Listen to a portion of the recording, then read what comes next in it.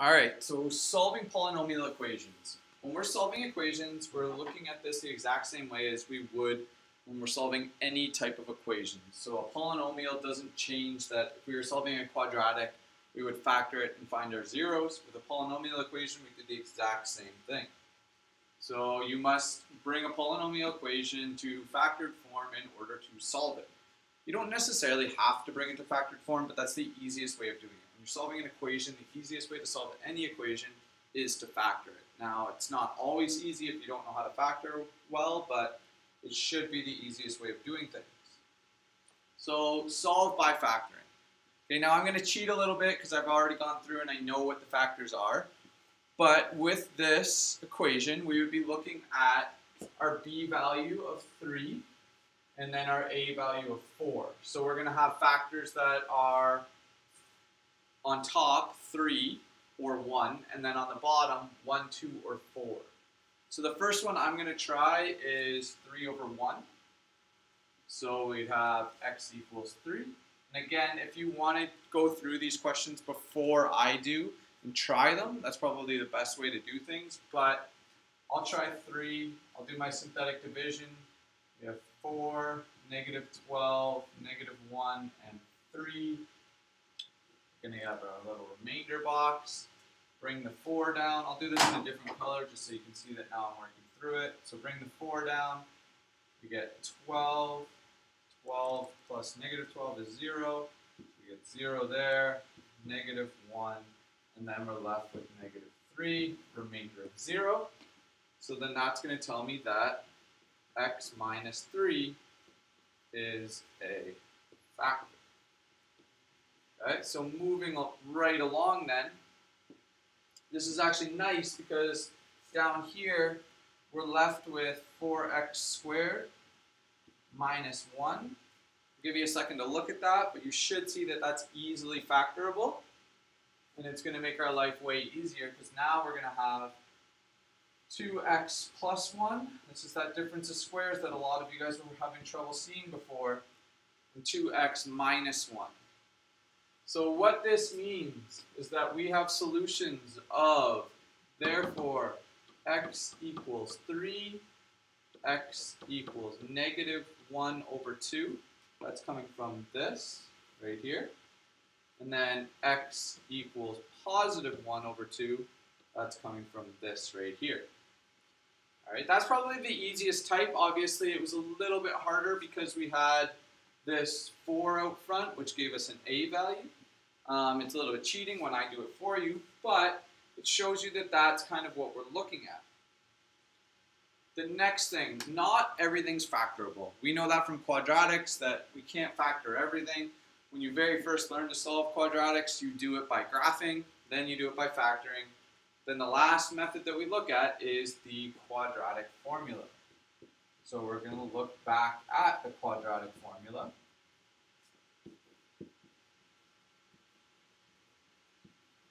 So with that, we have x equals negative b plus or minus the square root of b squared minus 4ac all over 2a. There's our quadratic formula. Again, quadratic formula. It only works with quadratics. So going through this, um, you can't use the quadratic formula yet because we have a degree of 3 here. So what we're going to be looking at, um, again, if you want to try this by yourself, you can first. We've got 1 or 5, plus or minus in both cases. It's going to be our first factor. I'm going to try um, negative 1. Just like I say I'm going to try it, but I've cheated, so I know that it works, or it should work, unless I did math wrong earlier. So we're going to bring the 1 down. Get 1 times 1 is negative 1. That's 8. Negative 8. Um, 5, negative 5, and 0. So what I've done did work, which is great. So we'd have, therefore, x equals negative 1 is a solution. Okay, or you could put x plus 1 is a factor, and then state your solution. Okay?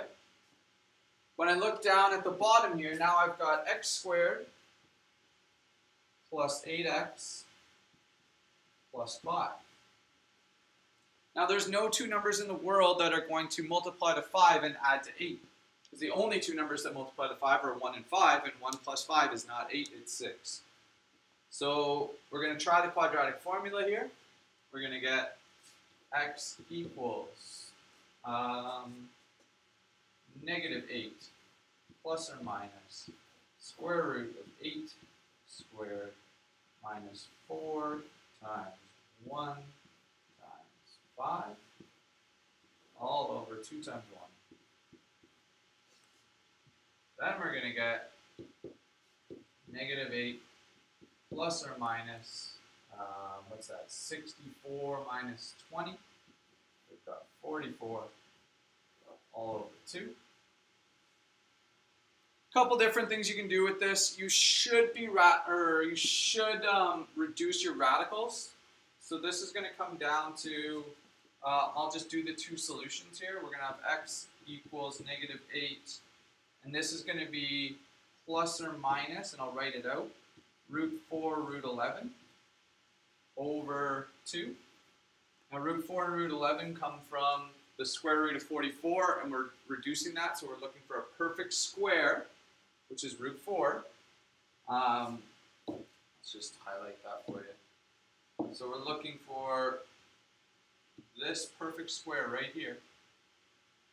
Okay, in the middle there, root 4 is a perfect square. So when I do that, root 4 times root 11 gets me back up to root 44. But that also allows me to reduce my radical. And my page is going real slow here, so there we go. And that gives me negative 8 times black, plus or minus 2 root 11 over 2. Oh, I should be, I should have gotten rid of my plus or minus now, but um, let's actually do that right now. Sorry if you've already written that. So we have negative 8, let's say this is plus um, 2 root 11, and now I'm back to green. Awesome. And then over here, we'll go negative 8 minus 2 root 11. So what's going to happen? Well, we're going to get the 2's are going to divide out of each term. So this would become negative 4 plus root 11, or x equals negative 4 minus root 11. Okay, the 2 has to divide out of both terms. I'll show you one of them. I'll show you the one on the right here. Um, if we looked at this and you're wondering why that 2's out of both terms, remember when we have fractions, this is what we really have here.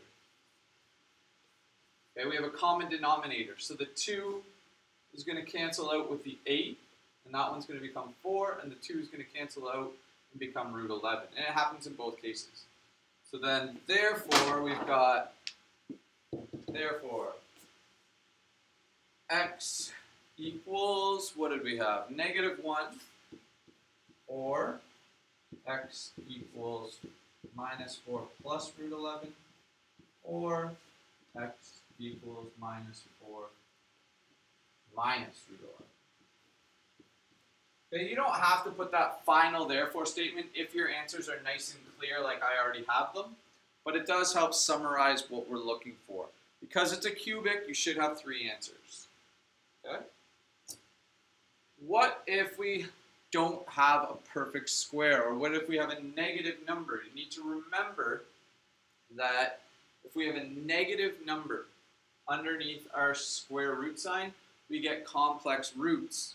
Now, some of you in grade 11 would have dealt with that, some of you might not have seen it, but all that's going to happen is if we have the square root of negative 1, all that we're going to do is add an i value. So negative 1, that equals i. Okay? Or is new i squared. i squared, excuse me. So if I were to, oh, that was i, I was right the first time. Oopsie, sorry about that. Slowing you guys down.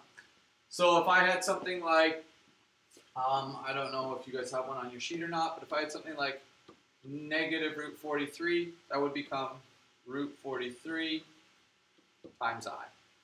Okay? Where i brings the negative 1 out, and we can now do root 43. Or if it was a perfect square, something like negative root 16, that would be equal to root 16, I'll do this, i, which is 4i. Okay, and now we're in the complex root system. Okay, so if we look at that one, it's going to look something like this. We're going to go through this example. Um, again, try this yourself before you just watch the solution. But we'll work through with negative 3.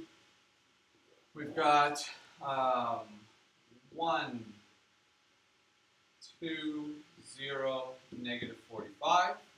Remember, you always have to include your 0. We've got 1, negative 3. That's going to be, what, uh, negative 1. Am I right here? I might be wrong. Negative 1 times, that's going to be 3 is 3 is 9, and I'm wrong. Nuts. All right, so let's try 3 then. 3 squared is, no, come on, Mr. Shaw. 3 squared, 3 cubed is negative 27. Oh, it's got to be positive 3. That's my issue. Sorry about that. Wasting your time.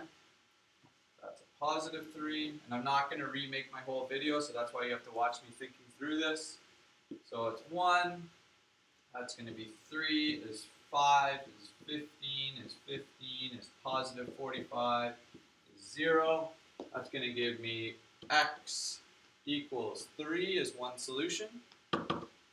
And then we'll move down here. We're left with x squared plus 5x plus 15.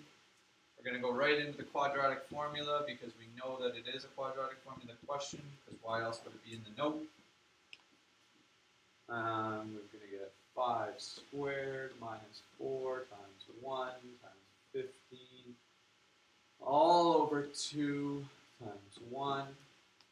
We're going to get negative 5 plus or minus uh, 4 times 15 is 60 minus 25 is root 35 over 2. So we're going to get root 35 can't reduce, so negative 5 plus or minus square root of 35i over 2. And we'll leave it in that case with the plus or minus because that's also fine. Or x equals, what do we have at the start? 3? And we're all done. Sorry about that math that I messed up, but it allows you to see how simple it is to mess up that synthetic division. Um, yeah, and now there's the worksheet for you to work on.